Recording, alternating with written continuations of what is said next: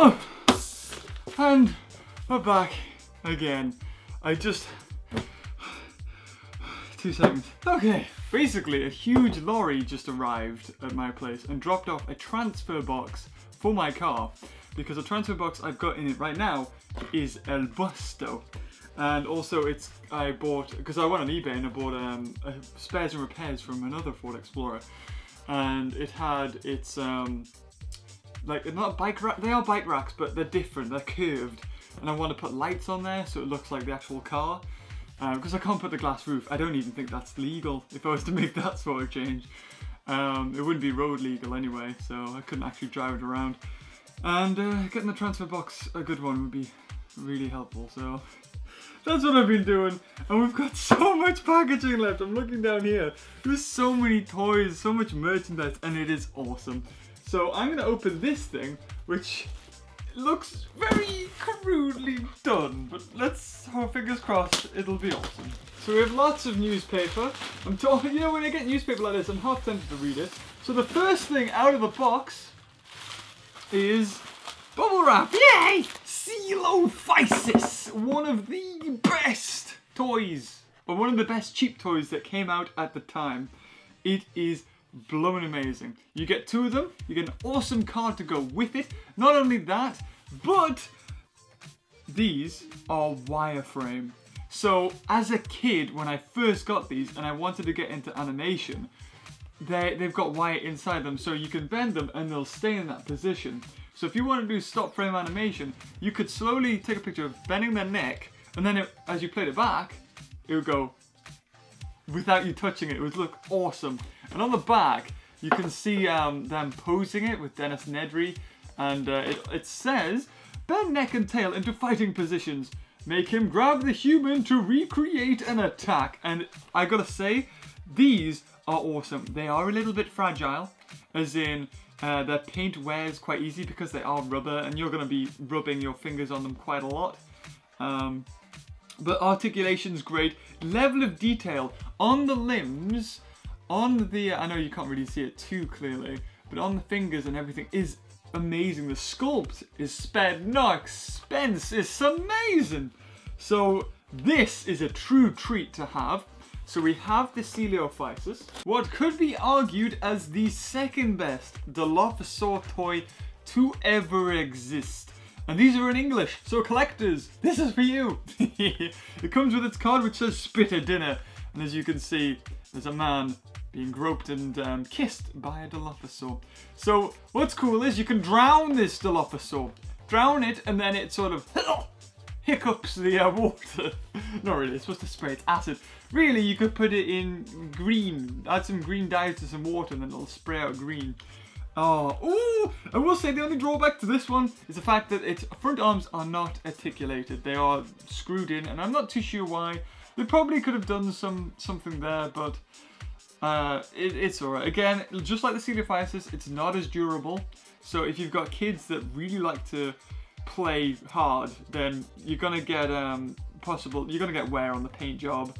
Um, and the tail is actually like really uh, stretchy rubber. It's very springy. So you may see a lot of these models uh, that are secondhand that have the bits of the tail missing because little kids pull it and it'll snap off. So, but it's awesome. The paint job is amazing. Um, and the way it works is also amazing. Its legs are articulated. And can, I, can we just take a moment to just admire the packaging on this thing? It is amazing. Nothing. Jurassic World had good one. Like this, this rivals the Jurassic World Dilophosaur. I gotta say, probably Jurassic World Dilophosaur is better because it is electronic and fires like a projectile. That's pretty cool. Its um, its frill is also nice. It's it's kind of cool, but at the same time, it's it's always on. Uh, and this one doesn't have it, so it does spray, but doesn't have the frill, so that's a minus point for it. But look at it. Look at the trees, the sort of gradient from yellow, orange to red. It just, it feels hot. It feels like Costa Rica, and the trees sort of just over this sunset and the humidity, you can feel it all in here. And it is just truly a marvelous, like, um, packaging. I love it. I'm sorry. You will not get better than this. So we have Coelophysis, Dilophosaur, Dimetrodon. Yeah, that's right. we're talking Unicorn Wizard before it was a wizard. Um, and this is the first in the series of dinosaurs. Instructions. Uh, press on left rear leg to open and close jaw. So you get a nice little diorama of it there, opening its jaw. And it does snap it, like snaps it closed. And it, again, has an awesome little movie cards thing that was commissioned, like art, of, I think, Tim and Alan Grant sort of stumbling upon a Dimetrodon. But what's cool is this didn't feature in the movie at all, and Dimetrodon, as we now know, is not a dinosaur.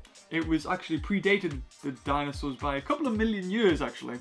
But again, packaging phenomenal. The um, the color on the plastic is clear. It hasn't aged at all, which is beautiful. The Coelophysis, if I put them close, has sort of um, greened, yellowed. But the Dilophosaur and this Dimetrodon haven't. For some odd reason, there's loads more Dimetrodons on sale on the internet than there are other dinosaurs. There are virtually no raptors because everybody opened those and they're very rare. Um, Dilophosaur, Dimetrodon is the most common for some odd reason, and I think this model is fantastic. Its frill is lovely detailed, the sculpt on its body is great, it's got a nice little action feature, and it's a cool model. I like. I don't understand why the Dimetrodon is so common on the internet, so that's why I snapped a lot of them up. Oh, we have a little one here. We have a little one. I'm gonna open you.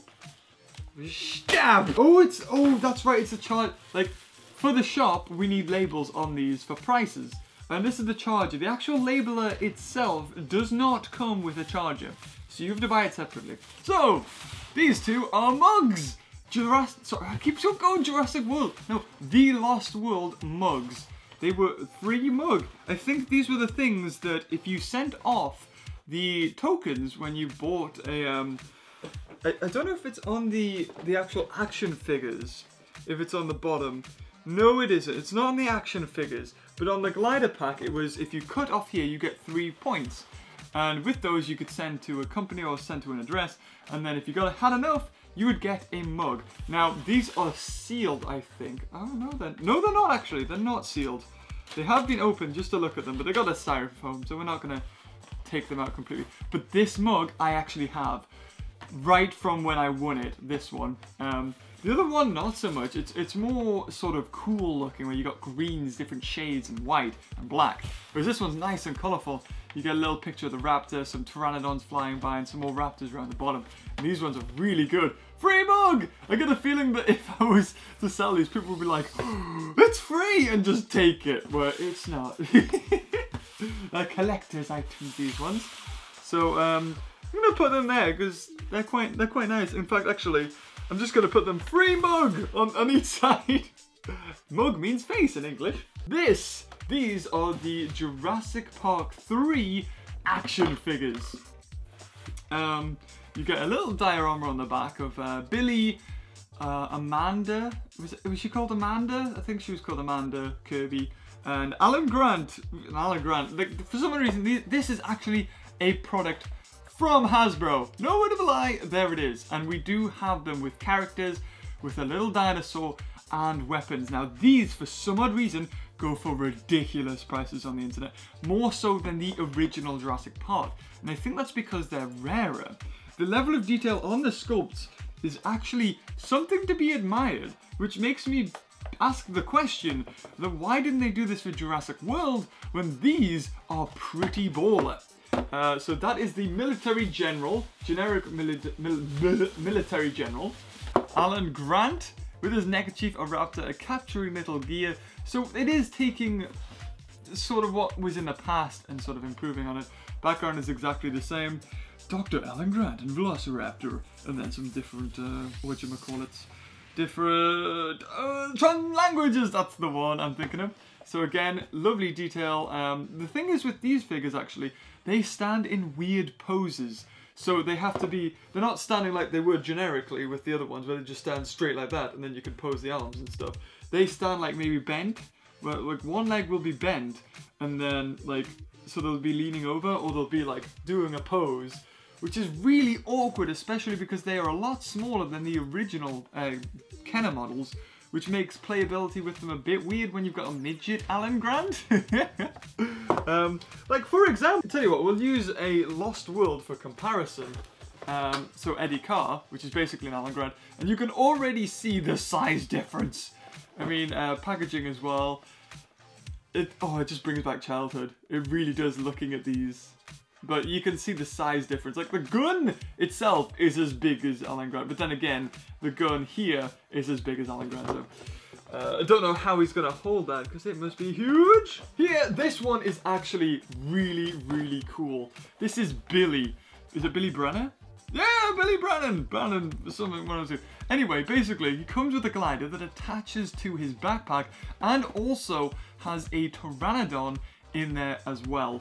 Um, this is awesome. He does not come with a gun, but the whole package, the packaging is full. If you just look at it, you like it's like they've had to squeeze in the Pteranodon just at the side. They probably could have just left it like that, and that would have been okay.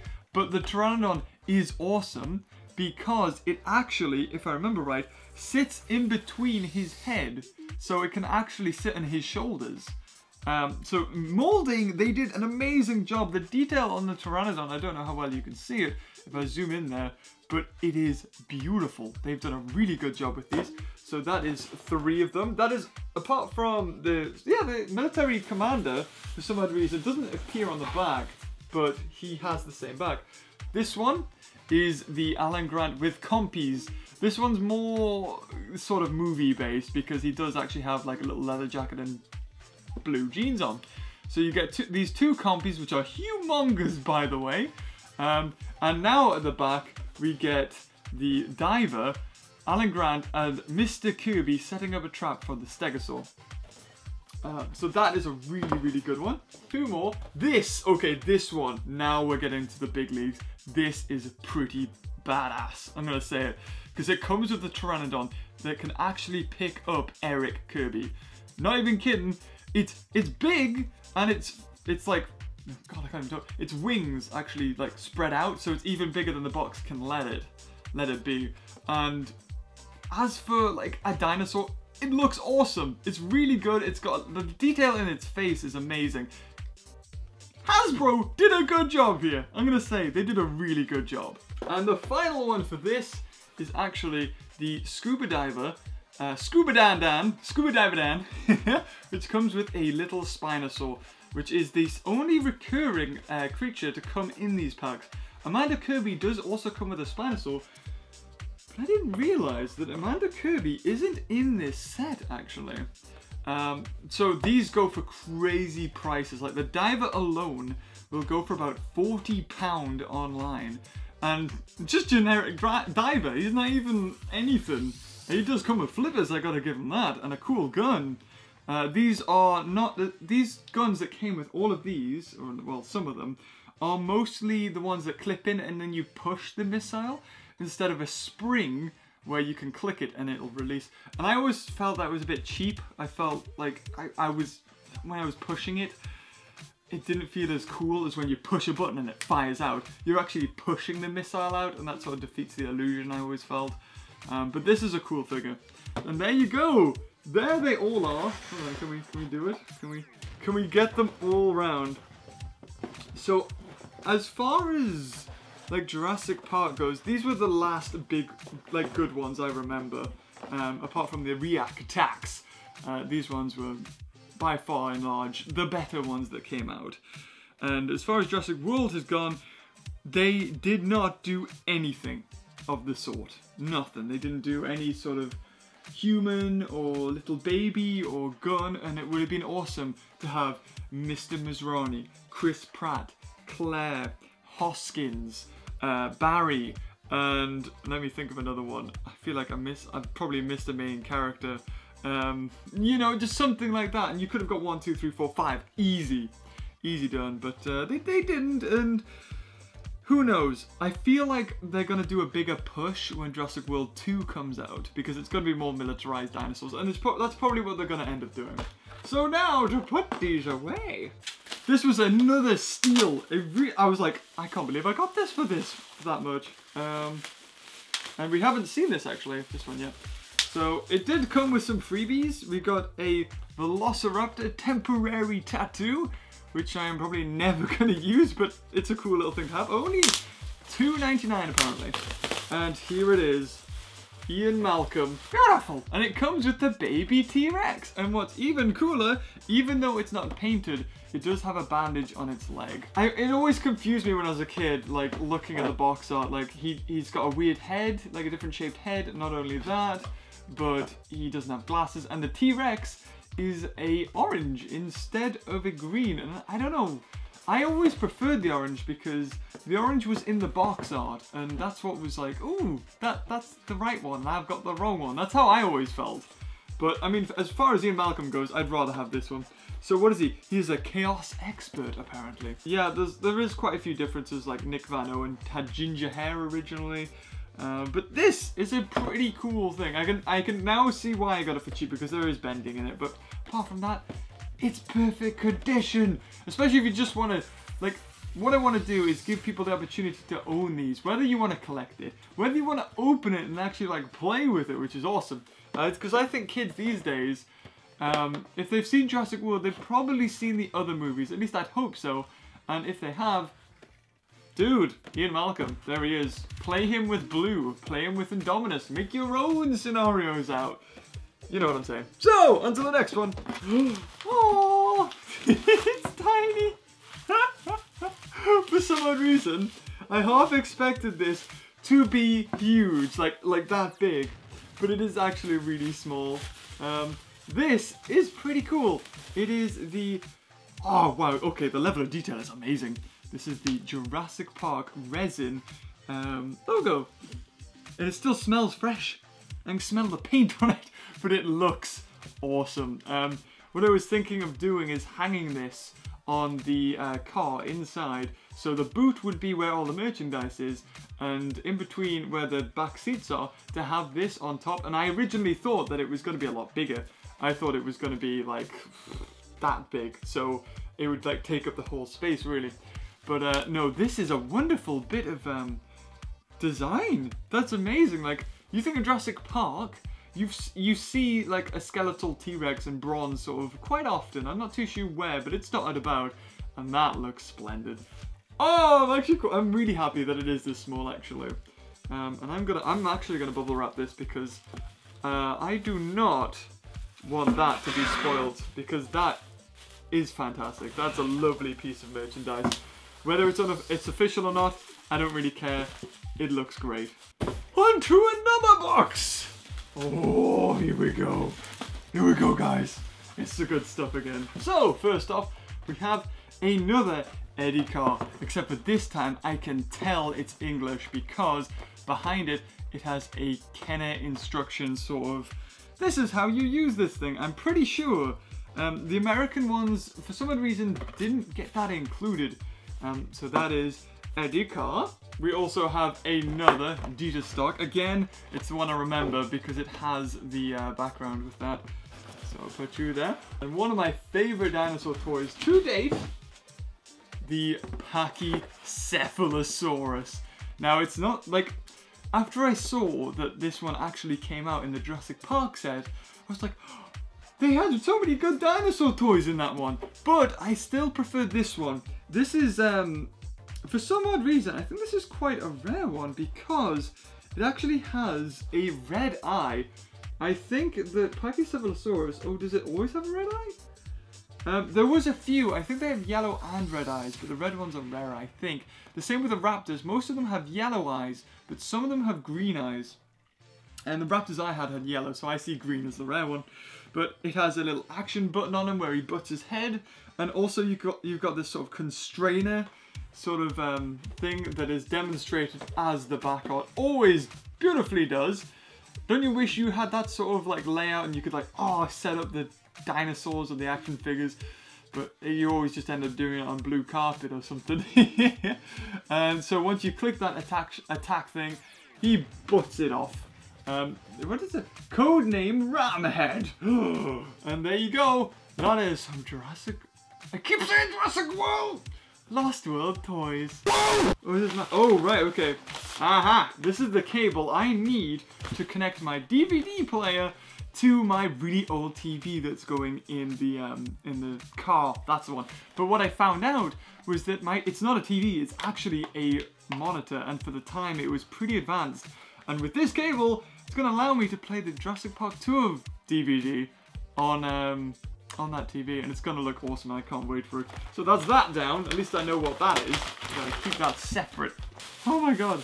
They wanted to keep good care of it, and it is, again, the Coelophysis, except for this time there is no aging at all on that plastic. Something to be behold when you consider this thing is about 20 odd years old. It is almost the same age as me. Um, in fact, hold on, can we get a date? It is, oh, collector cards made in Hong Kong, interesting. Um, oh, also something really cool, in 1993. So it is 20, 2, 22, 22 to 3 years old? Jesus. But on the back, you can you see this line here? You can see a clear line of age. Now, obviously, it has poked out in the sun at um, at some point in a collection or in a library, and this is sun faded. So all these years, that's what sunlight does to packaging like this. So that's just a warning for anybody who is a collector that's gonna happen if they're not properly contained or kept away. So obviously like this is, this, this part of it was completely um, out of the sun. And obviously, if this bit was facing the sun, this bit wasn't. so it didn't even bleed through. And the card as well shows lots of Coelophysis and Ian Malcolm and I think Ellie looking at them run away. And of course, my favorite game when I was a kid, a little whippersnapper, not really, but when PC games were getting alright graphics, Dino Defender Jurassic Park 3. Dino Defender! I actually don't know whether or not this works on modern day computers. I think it does, but you have to have a Windows, because if you have a Mac, even though it says that it works for Mac, the actual iOS or whatever is out for Mac is too good for these to work. So, um, yeah, uh, you can't play on a Mac, but if you've got Windows, which most people do, then you'll be okay with these. Okay, we are reaching the final, the end of the post so far, and it has been a crazy ride. So we have one, two, three, four, five left. We have this thing, which is fragile, handle with care, uh, which I thought originally was a DVD, but obviously not. Let's see what this is. Oh yeah, that's right. Oh yeah, look at all those. Beautiful. Yeah. These are awesome. They are like, um, sorry, car keys, but they have the Jurassic Park T-Rex on it. And I saw these and I thought, I gotta have it. I gotta have one for my car. I was like, for my car keys, I've gotta have one. Um, and then, like, because they were like awesome, I thought, Let's just get loads. So I have loads of these and they will also be on the shop for you guys to get.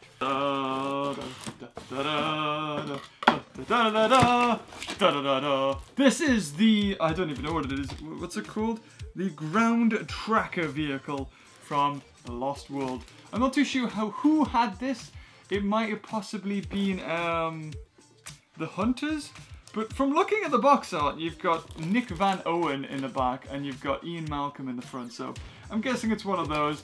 And then if you look at the uh, diorama there, you've also got Ian Malcolm, Eddie Carr and Nick Van Owen. But this is a complete car inside here. The box is a bit damaged, it has been opened, but everything inside is complete. You've got the missiles that are somewhere. There they are, the missile and the gun.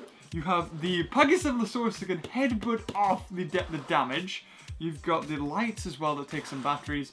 And you've got a little fold-out seat for other people to go in. And they're getting look here with the vehicles, if you, you, get four points for this one, if you cut that off and send that away, you could have won the mugs! If you were so lucky and lived back in the 1990... Does it have it? It should have a year on it, hold on. 1990, I'm gonna say 8.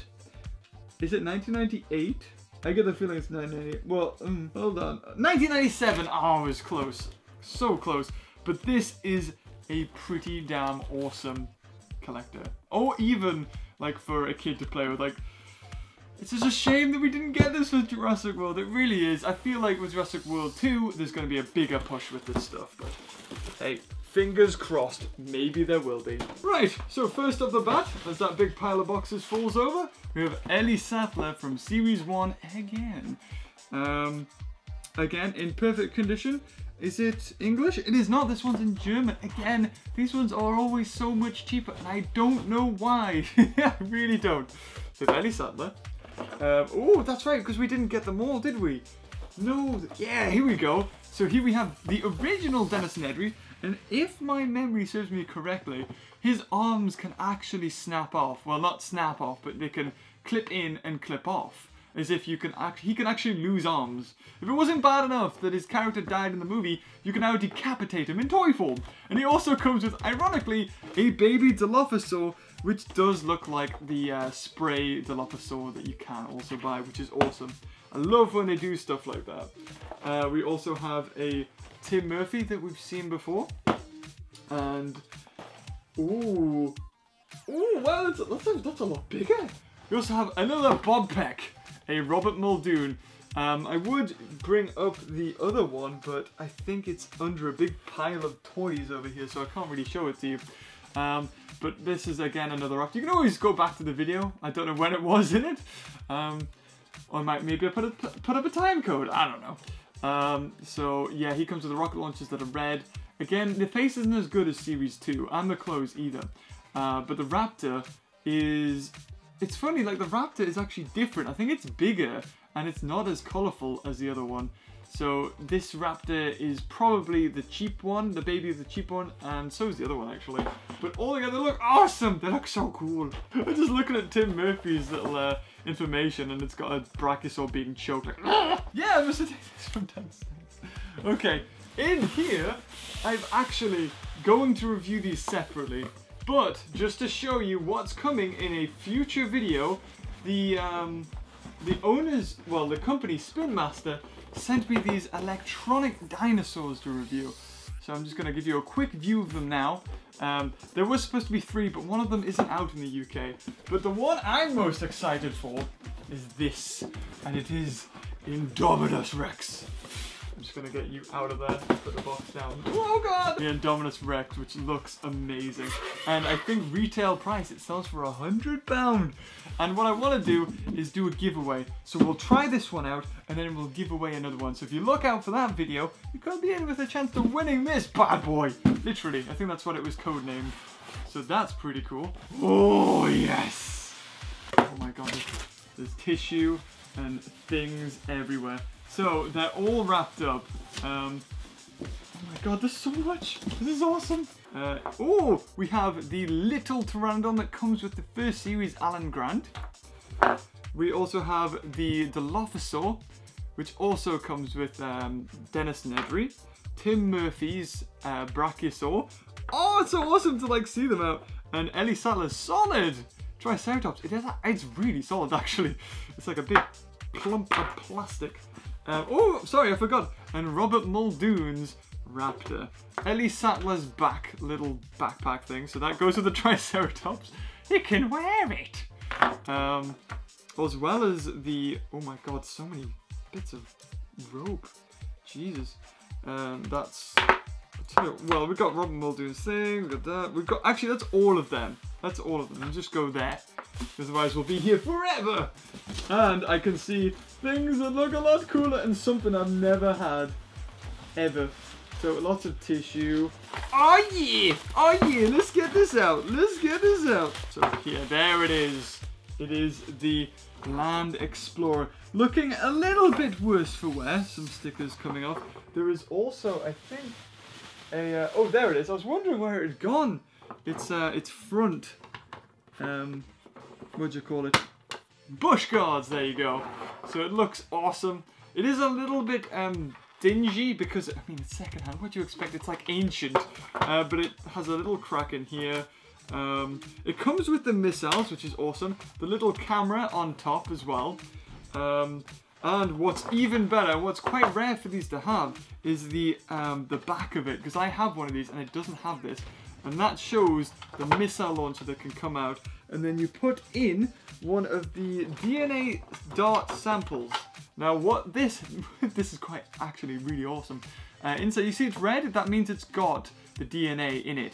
But if you put it inside its holster, it resets it. So the DNA no longer, oh, hold on. I don't think I clicked it properly. There you go.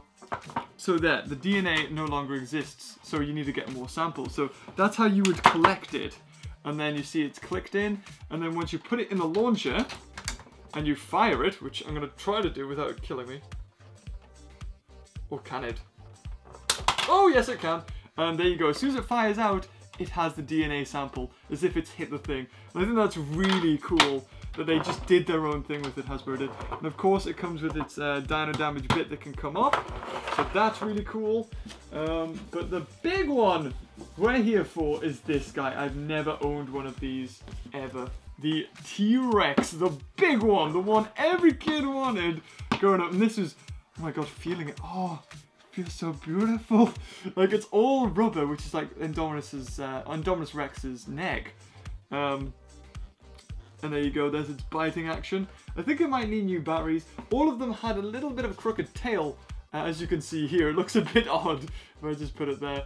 But ah, oh, it looks so cool. Um, I, I have no words for this. This is the one that encumbers everything that is Jurassic Park. It has movable arms, which are quite widespread, I will say, uh, but it also has stopping action so that when you rah, do that, then it'll make a noise. But obviously I need to unscrew it and uh, put some batteries in.